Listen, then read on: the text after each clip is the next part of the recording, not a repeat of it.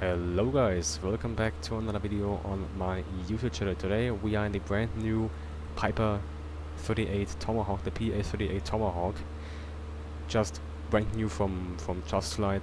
It, it was released, let's say, yeah, some days ago. This plane is brand new, there was already coming on coming out a new update.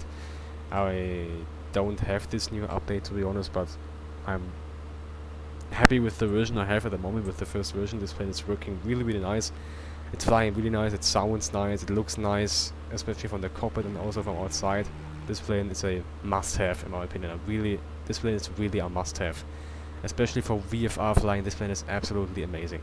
And on YouTube, this plane is getting kind of, um, this plane in this simulator, I mean of course in the MSFS 2020 scene, this plane is getting kind of famous at the moment for one really interesting and special reason because of the um, okay hopefully yeah that was just a, li a little a little lag there.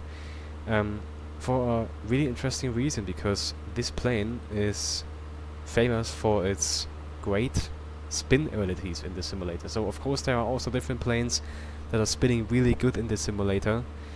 Um, but this plane is spinning extremely extremely nice and really really realistic. And this this this plane has a little nickname, a little fun name called Traumahawk.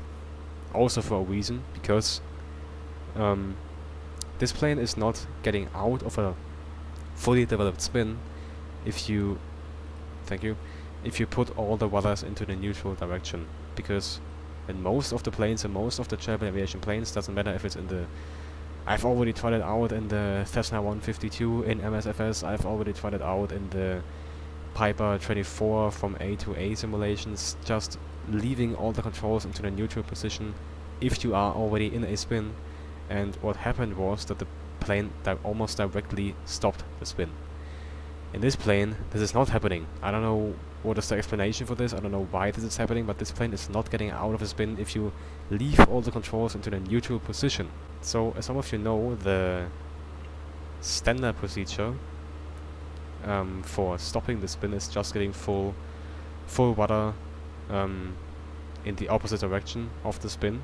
That's in in basically all the general aviation aircrafts stopping a spin as fast as possible. In this plane, this procedure is of course also um, helping to get out of spin. So we are going to do now, what we're going to do now is we're going to do two spins.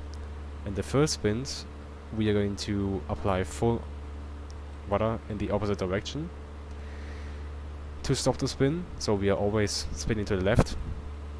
And in the second one in, in the second spin what we will do is in the second one we will simulate that our rudders these two rudder pedals here are not working. They are stuck. They are whatever they are just not working anymore. And now you probably think okay if this plane is not getting out of a spin by leaving all the controls in the neutral position, how should this plane get out of the spin if the rudders are not working, if this rudder here is not working? And that's what I will show you after the first spin. So first of all guys, power comes back, we will increase this turn here a little bit and decrease the speed, as you can see the speed is slowing down below 50 and now there comes the shaking and the noise. And now we'll apply full rudder in the spin direction pulling all the way on the yoke, we are in a fully developed spin. Power to idle, there's the spin, and now full rudder in the opposite direction. And you can see it takes the aircraft some spins, even with full opposite rudder applied, it takes the aircraft some spins, I didn't count them, but some spins um, to stop the spin. So that's already something we, we noticed. Um, but as you can see, it is working with the rudder. It works with the rudder really good. You can get out of the spin with the rudder, and that's simply how it works. But now let's say that the rudders, let's say where we are, uh, let's see where we are, okay.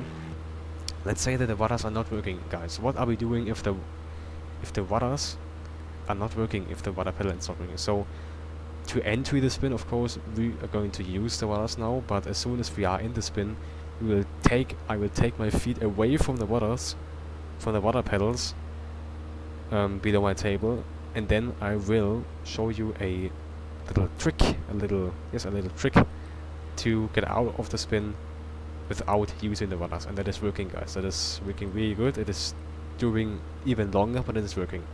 So let's get the plane into the spin first of all.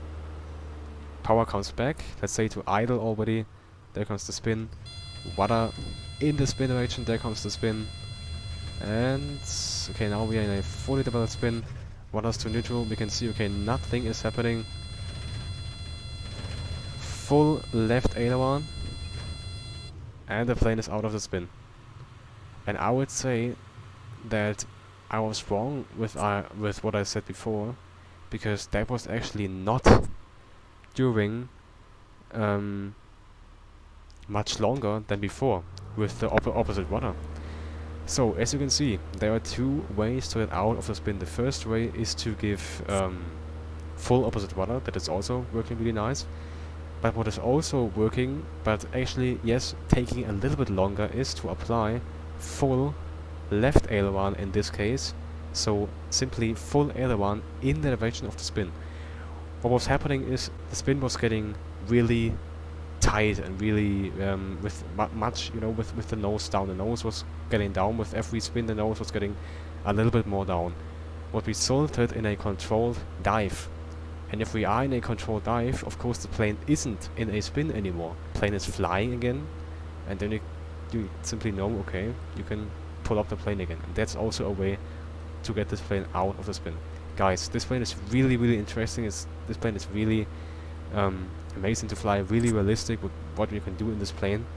And yeah, absolutely amazing to to just learn how, yeah, simply sim simply to learn how to how to deal with spins in the simulator with this plane. Guys, I hope you enjoyed the video, I hope you liked it, and I will see you in the next video, um, probably in the stream, so yeah. See you next time, bye bye.